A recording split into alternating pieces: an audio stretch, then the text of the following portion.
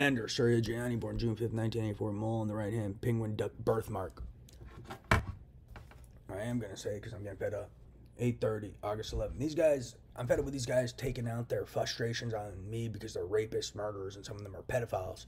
And they got caught by their ex-wives, raping women, and whatever the fuck else they were doing. Murdering people, disseminating COVID, being involved in organized crime, RICO, and terrorism, stealing from victims of sexual violence such as me, stealing from a victim of rape-like violence, illegal experimentation, illegal human programming experiments, um, a victim of a new age covert hostage scenario, stealing from a victim of terrorists and murderers who are holding me hostage via implantable di- devices. So I've been up with these guys peddling their slander and bullshit. We're all bent out of shape because they got caught being rapists in real life and raping women and doing all sorts of sick shit, trying to program them to perform fellatio and doing neurosurgeries on people, trying to neuro neurologically impair women so they became more sexually susceptible and more sexually compliant. Because a lot of these guys are trying to quote compromise people and make them follow orders. So they're doing weird shit with new age neurosurgeries and trying to make people more sexually compliant and all sorts of weird shit illegally. So I'm fed up with these guys who got caught doing this, trying to bother me because they're fucking weirdos. And people were defending me, so they're all bent out of shape.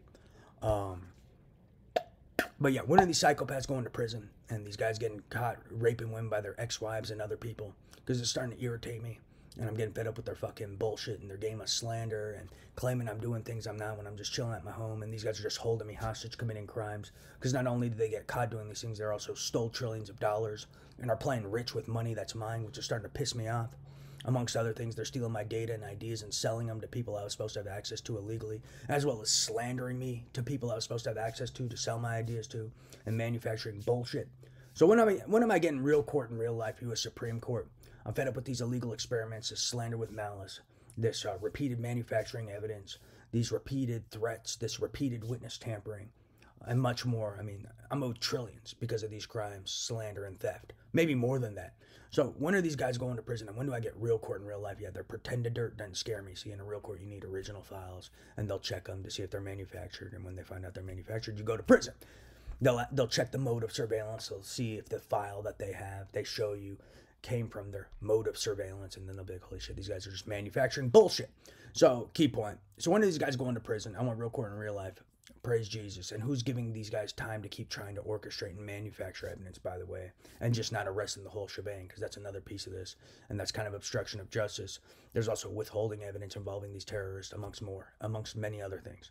So who's giving these guys time to orchestrate a frame, fix their telepathy that they've been tampering with and manufacturing, and trying to find ways to make their slander and jo- nonsense look real? Um, like, like I said, the type of people we're dealing with are the people who threaten me and say, "We have a way to make slander look real. We control the information." So we control perceptions. That's what they say to me via telepathy. So those are the type of people we're dealing with. Not to mention we're dealing with betting manipulators, which are known liars because they manipulate bets. How do you think they manipulate bets? By manufacturing evidence, manufacture stories, robbing people, and lying. Key point. We're dealing with the we control perce- per- we control the information, so we control perceptions. People who control information, known liars. We're dealing with people called frame squad.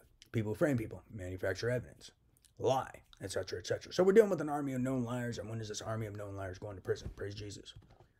Key point. Always factor that into the analysis. The known liars, the framers, the perception controllers, the perception manufacturers, the frame squad guys. Key point. Praise Jesus. Yeah, that's very important to factor into analysis because that's who you rely on.